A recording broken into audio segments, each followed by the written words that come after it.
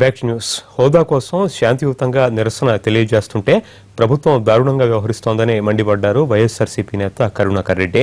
నిన్న Tirupati collector office వద్ద మహిళలపై జరిగిన దాడికి నిరసనగా ఇవాళ ధర్నా దిగారు. శాంతియుతంగా ధర్నా చేస్తుంటే లాఠీచార్జ్ చేయాల్సిన అవసరం ఏమొచ్చిందని ప్రశ్నించారు.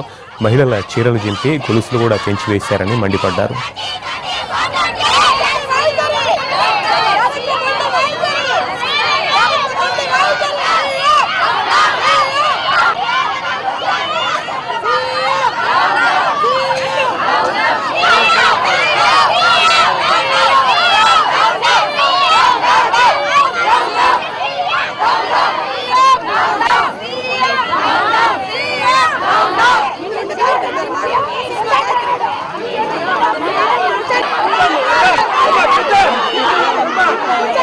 Father, Father.